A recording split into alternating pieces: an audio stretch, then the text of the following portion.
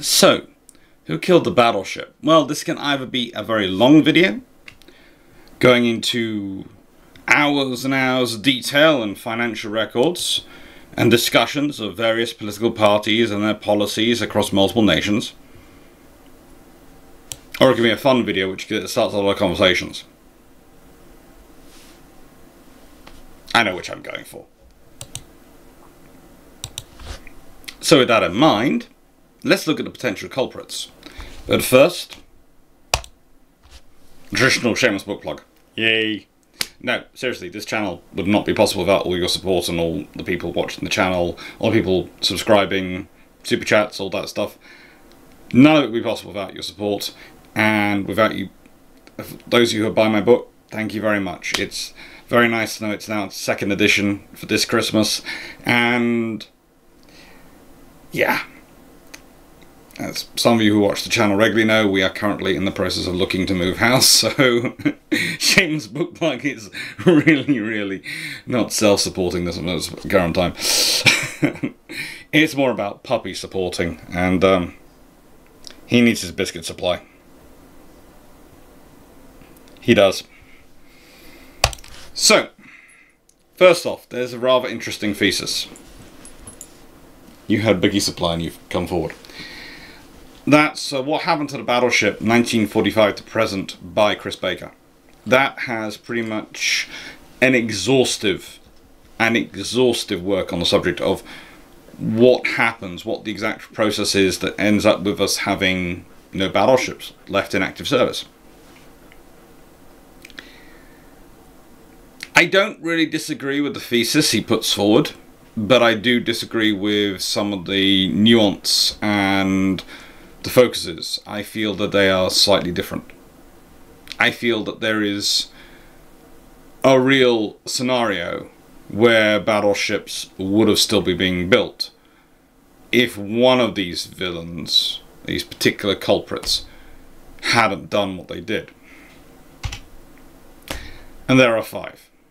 There are five potential culprits, and as such, we'll be going through all five. Some of them are subsidiary culprits, I have to admit. Some of them are not so much culprits as they are potential culprits. Or accessories. But even those accessories can be the ones that deliver the final killing blow.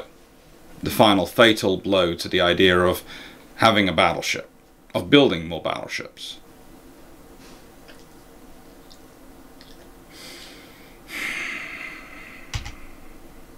Air power. Specifically jet aircraft more than propeller aircraft. This is an interesting point to bring up, but once you're dealing with jet-powered aircraft, the range, the weight of ordnance they're carrying, etc., in increases. And that makes it very, very difficult for you to necessarily get your battleship within range. One of the things that's often discussed is the fact that pound for pound, the battleship is one of the most lethal things ever created. If you are within the fighting range of a battleship, it can sink you, and it will sink you if it's given the chance. I.e., if it's allowed to start firing.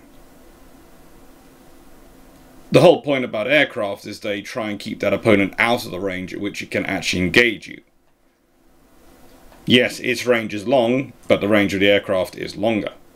Now, here is the interesting thing with that one. There is a certain point at which it's a law of diminishing returns, i.e., the aircraft range is longer, but if the ship's gun range is long enough, i.e., with the modern rail guns, etc., if they come in and actually start working, it can become back as a viable system. I don't think it will come back as a viable system in terms of being called a battleship, but a primary gun-armed ship could well return. The point is, though, at that point we'll be talking about railguns with ranges of several hundred, if not potentially several thousand kilometres to fire their guns. i.e. ranges equivalent to the range of a strike aircraft. But basically, once you're dealing with jet aircraft and the capabilities of those aircraft in providing long range interception, the primary role of battleships killing other ships is reduced. Okay? What's the secondary roles? Fire support for amphibious operations. Well, if you're doing massive amphibious operations, then that's useful. If you're not conducting it, that's less so. And defense of the task group and defense of the carrier. Well, that's when you get another problem. The carriers are becoming bigger and more powerful. The outer air defense is more and more about the fighters. Then you have missiles. And then eventually you have guns. Well, you either have to build a brand new battleship that really can take advantage of all the missile technology. Or you don't because frankly there's a limitations to what it can provide to what it can do for you sorry just moving it so you can see. He, he's trying to get very much into the camera so now that is all a good that's a, a nice idea it's a nice thing to do the battleship is useful still but how much money are you spending to get a battleship and do you need it for that role? Do you need it for those roles? And the aircraft carrier is getting bigger. It's getting more powerful. It can carry more and more aircraft. Each individual carrier is more and more vital. And then we have this. The fact is, if you look through history, often the biggest motivation to build battleships in fact, to build all major surface ships. And even most principal submarines, the major submarines, the SSBNs and SSGNs of this world, i.e. the ballistic missile subs and the big cruise missile subs, has been our opposition. It's been who you're building to fight. Stalin dies, and the Soviet Union stops pushing for battleships. If the Soviet Union had built battleships, I can guarantee you the West would have responded with battleships. It's a simple factor as that, because they couldn't allow the Soviet Union to have a brand new battleship and them not have a brand new battleship that can match it. Because ultimately, ultimately, what can you guarantee will kill your uh, kill the, your opponent's big, many thousand, uh, tens of thousands ton killing machine? What will stop it? Well, the only thing you can guarantee has a chance of stopping it is your own tens of thousands of ton death machine. That's pretty much it. That's what you're talking about. You know, the big blasting system fights the big blasting system. Often the argument of what's the best uh, uh best uh, tank killing system is a better tank. These days we might argue it's an anti-tank missile system, but again, there are scenarios where those don't work. And usually that does depend on the opponent who's operating those tanks actually following their own doctrine. But we'll leave that to one side. Militaries have a long history of ignoring their doctrine once they get into war and then relearning the lessons of their own doctrine which they developed in peacetime in that war with bloodshed. And you sit there and go, didn't you practice this in exercises? Well, we did. And then we thought we were smarter because we thought the enemy was dumber.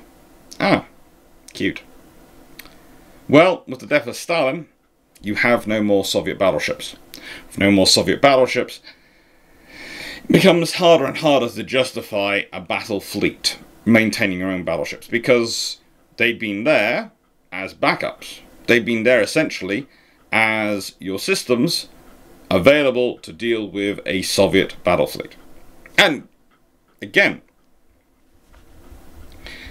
seeing as the Soviets never get rid of anything, if they'd had battleships, they would have kept them going right into the end. Let's be honest, the Russians haven't got rid of anything they haven't been forced to either. They've still got the Kirovs going, they've got Kuznetsov going, all these things. The odds are the West would have had to be the same. There would still be battleships wandering around. They'd be modernized, upgraded. Those things would be a combination probably between a Kirov and an Iowa in their sort of ideology and their form and shape they'd probably have battleship guns forward and missiles all over the place aft and helicopters. They'd be really quite scary, quite interesting ships. And just as we have some nations have a couple of carriers, large carriers, so they you know they still retain that level and they need to because of various commitments around the world and various interests. You probably have the same number of nations, but have a couple here, there, and America would have the majority, like they have with carriers. Which would give us a bit of variety. Also, make an interesting case for defense funding. Yeah, let's get into that one because there's also the air power and missiles. And this is often the one trumped against the battleship, and it's a very true one. You build a battleship, that's going to take a huge amount of money to build, to armor, to you know, create. Huge amount of infrastructure has to exist to support the creation of battleships. Similar eh, levels of infrastructure that exist to support the creation of nuclear submarines. You do that, great. All your opponent has to do is build a missile which can punch through your armor.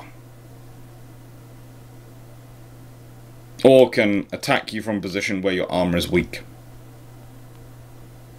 That's all your opponent has to do.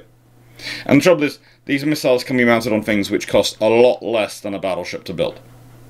This is a P-15 Termite, or the SS-N-2C, and it's often mounted on patrol boats, fast motorboats, the successors to a torpedo boat.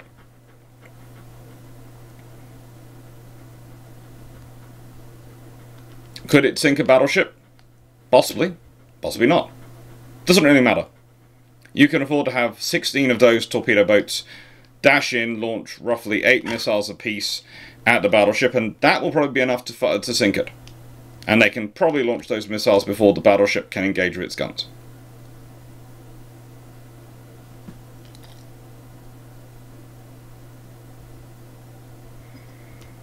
So then you have to justify escorting the battleship. You've got to have things escorting it.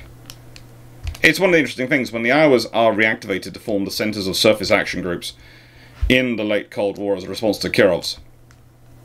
They're really good ships at the center of the surface uh, of the surface groups, but they, it is basically the same principle as a carrier battle group. You've got all these escorts around to make sure the battleship can do its job, which is to kill anything that gets within range of its guns. But to get near those things within range of its guns, it needs the rest of the task group. It's like the carrier can, ki uh, can kill stuff and strike stuff within range of its aircraft. But to make sure it's got the freedom to do that, it needs its own fighter aircraft aboard, and it needs the carrier battle group, the rest of the task group, to provide its, its outer layers of security.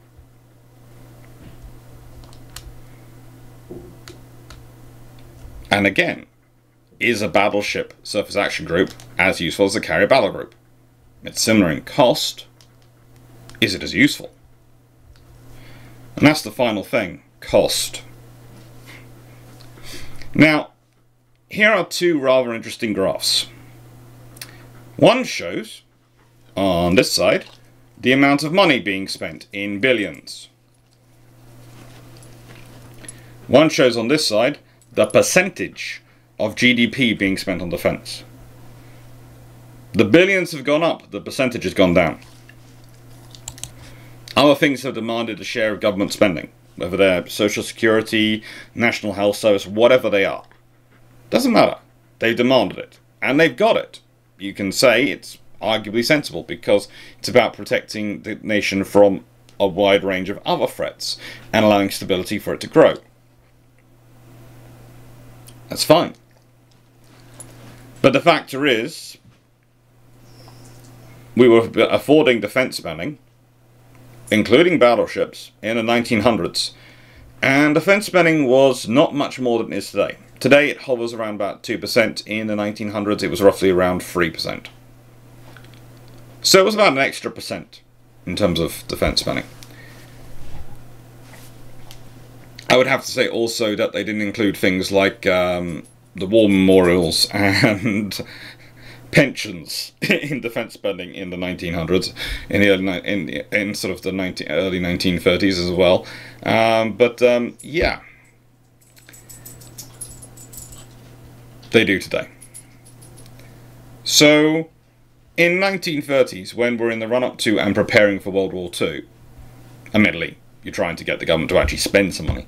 They're spending a little bit more than they are today, in percentage terms, but a lot less in terms of amount. This is where politicians come with the real term spending. Real amount spending has gone up, is going up. Yes. Is it matching inflation? And that's the other problem you have. You have defense inflation. Now, what is defense inflation? Well, there are three drivers when you're buying something. One is the number you're buying. So basically, it's how many goods are there? Is the profit uh, Uh, the profit margin going to be set out across? How many goods are the research costs going to be set out across? How many goods are the isn't it what volume of goods? Research costs, the profit, and the running costs of the company involved are going to be set out across. When defense, you also have to pay a premium above that because you're paying for the potential because often you're not buying enough to keep the procurement and the factories and systems at the level at which you need them to be in wartime to supply your needs in war, so you have to pay a premium. Then you have the fact that defense has got increasingly complicated, and you're not just paying to include systems produced by one company, you have to pay fees to make sure that there are systems can talk to other systems from other companies and make them work work together. And often these companies don't like each other. They haven't liked each other for a long time, and getting them to work together so their systems actually operate with each other is often a case of arm twisting and paying through the nose. This adds up to the cost of things. This is why real terms, and I'm going to use that favourite political uh, politician saying, we're spending two and a half, two percent to two and a half percent of a year on defense. On defense, okay, GDP. Sometimes it's dropped lower, but usually it's over two, and sometimes it goes a bit higher. In real terms, we're probably paying a 50% premium on everything we buy because of the costs of not producing enough. That's one of the really interesting things. If you consider in the 1930s, we haven't been building battleships for years. We're able to spool up and start building battleships because of the sheer amount of battleships we've been building earlier in the, in the 20th century, in the 1900s. We're able to spool up because of the amount of resources and infrastructure available and churn out battleships. We churn out the King George V class. We churn out Vanguard. We refit, we repair, we you know, modernize a whole stream of other ships. We churn out aircraft carriers. All those things are done by Britain because they can, because they have the infrastructure. Nowadays, you have a lot less infrastructure. In this period, you also had, for a lot of it, you had government-owned yards. Now, here is the fun thing. Most of the time, you will, uh, people will spout things about, well, competition, free market tends to reduce prices. It does. If there is competition, and you are both producing an equally good product, then you'll probably be forced into pricing fairly similar to each other because people buy the cheaper one because they're equally good. So you either have to make your profit your your product a lot better to justify your higher cost, or you have to make it a lot cheaper to try and get it in under the margins of the other to try and get control. Well, with less and less procurement of systems going on, you've had a case turn up of pretty much a monopolistic system has developed, whereby whilst they, it's technically it's bidded out to private companies, those private companies are literally the sole potential provider. In Britain, there are two, and those yards don't even compete for the, pretty much the same projects. There is literally one area they overlap on. Otherwise, if you're going to build a Type 83, I can tell you which yard that's going to be built, the next generation destroyer. If you're going to build the next Type 32, I can tell you which yard that's going to be built, that's the next generation light frigate. If you're building OPVs, I can tell you which yard that's going to go from. Without even bothering to go through, yes, there'll be a competition, yes, there'll be four companies will put it in, we know which one will win. Why? Because it'll be, it's the government is not going to outsource it to a, a a foreign country. They're going to build it in Britain, and there's limited options in Britain. And we know which yards are going to price because they have a gap in the work, and which yards are full up and have work going through, and it really isn't in their interest to take on that extra job, but they're going to bid on it to give it the illusion of there being disparate options. And this is not a collusion. There is not collusion going on. I'm just stating that that's pretty much what it looks like. You only have to look at the Type 31 project and the whole various options put forward by various suppliers and then look at the realistic rates being put behind them. And you soon realize, hmm, that one's going to win from the beginning. Everyone does it honestly. But the fact is, so if a yard is building the Type 26, they don't want to also take on the job of building the Type 31. Cannot build both simultaneously. It would disrupt the Type 26 too much. In which case, that means they have to charge a premium to if they're going to take on Type 31 because of the amount of effort this extra effort is going to cause. So that automatically prices them out of it. Okay, then to the other yards. They don't want uh, Cammell Laird's. Let's put it this way: we can go with that. That's Glasgow doing the Type 26. We can go with um, BAE. We can go with Cammell Laird's, who are doing a whole load of one-off projects and earn a lot of money doing specialist ships and reconfiguring ships and doing the RFAs. So they don't really want to do the Type 31s. Harland and Wolff, not really the right project for them either. Appledore can't really fit it. Oh! Okay, Babcock. Yeah, pretty much the only option. And we can do the same in America. You can walk through. There is actually a debate about whether or not they should establish a third yard to build submarines. Yes. You'll have to guarantee it enough work, though, to make it worthwhile building, or you'll have to build an actual US naval owned yard again. And it's the same with Britain. Because at a certain point, you're not talking about actual competition. You're talking about keeping multiple monopolies going.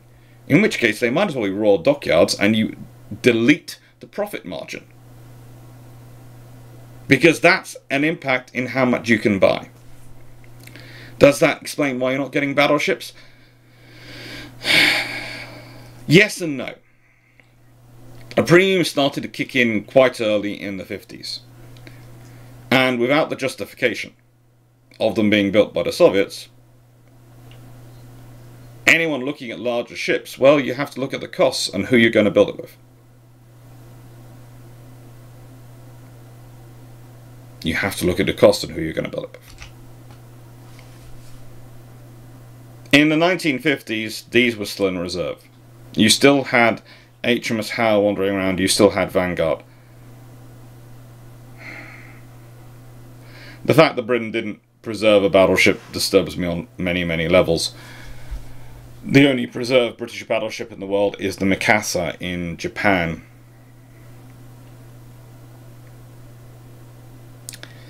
But leaving that to one side, why no more battleships? Well, you have the cost of them versus what they could do. You have the fact that no one really produced anything which justified their existence, and the moment they did, the Kirovs, the Americans just reactivated the Iowas.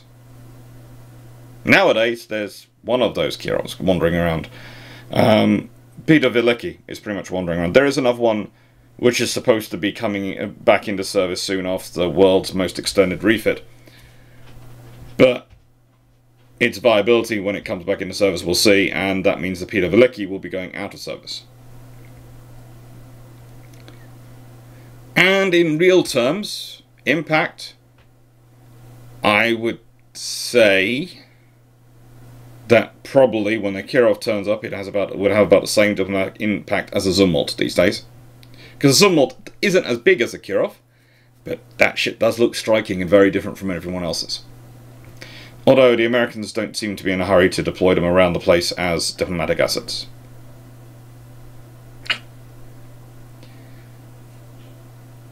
Battleships had a role as long as they were needed and as long as they were justified. And they would be paid for as long as they were both. The thing is, the justification for them becomes weaker once you get many systems which do the same role. And when you have to pay for, uh, when you have a cost and prices going up, and the real, the actual amount of money you have proportionally to pay for things going down.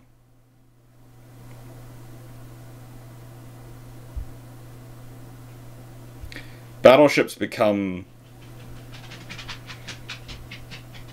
unattractive assets at a certain point, as useful as they might have been. And let's be honest, they could have been very useful. In the Falklands War, the Royal Navy could have really done with a battleship. Largely for two reasons. One, they needed a command facility and flag facility for the amphibious task group, because as much as HMS Fearless tried, it really wasn't set up for it. It wasn't like Albion and Bulwark are today. And the 15 inch guns would have been really quite useful in providing fire support for the Marines wandering around the Falklands, and probably would have been able to hit most targets from San Carlos Bay. Honestly, they would have probably been able to hit quite a large chunk of the targets they might have needed from San Carlos Bay, if not all of them. There are some issues with thing, with actual mountains getting in the way, which might, might mean they have to move, but we'll leave that to one side. But you could argue that that, that utility would actually have been negated if Britain had had CVA-01 and the proper carrier program, because they'd have had an outer fighter air defence, they'd have had larger strike aircraft than a Harrier, and frankly, that would have probably enabled things like the Commando carrier, i.e. HMS Hermes, to be deployed in to be deployed in to the San Carlos Bay to support the Helicopters Amphibious Task Group, and of course that does have flag facilities aboard it.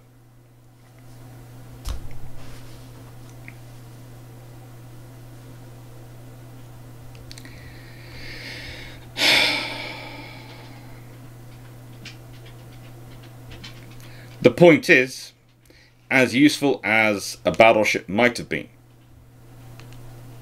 there are other systems which would be more useful for that money to be spent on than keeping a battleship in service. And it's a constant fight to justify things with people who often don't see their value. You see, with the policing, with healthcare, with education, people see its value every day. We know the pro we can see the problems very quickly of an uneducated populace we can see the problems very quickly of not having a police force. I know that might shock some people to say it, but you do really find them useful. And if you get rid of them, you very quickly would have to replace them with something else.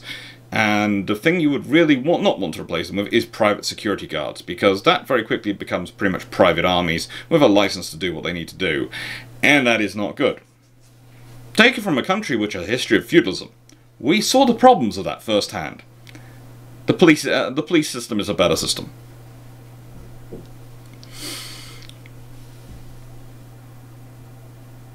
Same with healthcare. You need it. It's useful. You know, if you uh, if you don't deal, if you leave everyone to themselves, they can get very ill, and then you have a problems with your popula population. If you think about it, if you spend money educating people, training them up to be vibrant parts of your workforce, and then they get ill and they can't work, or even and then therefore become a burden that needs to be taken care of, or even worse, they die, then you've just lost all that investment. Healthcare makes sense. The trouble is with armed forces is they're kind of like a fire service in that most of the time they're going around, just wandering around, checking things, making sure it's okay, making sure there aren't any too, too many risks, keeping an eye on things, and maybe reminding people to stick up fire alarms. The moment there's a fire, you really need them. But until then, they're just there. They're not really that visible. You you realize how brave and how uh, valuable they are to the community, but you don't really see them. With armed forces, that's even worse. Because what they do is mostly beyond the vision of the local community, of the community that's paying for them. They mostly try and deal problems a long time before they reach you.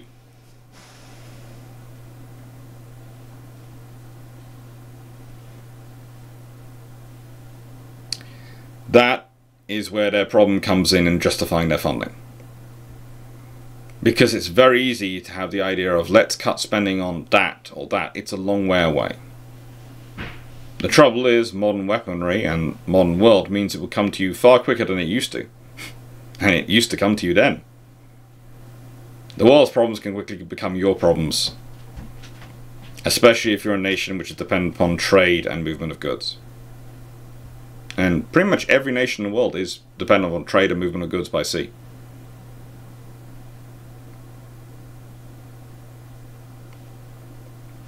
Know. Hope you enjoyed that, and hope that starts off a discussion. Why no more battleships? Justification and cost. My argument. But what have we got coming up this week? We have the Battle of Sinop, 1853. Hope you're enjoying yourselves. Hope you look forward to that. Thank you very much for watching, and take care.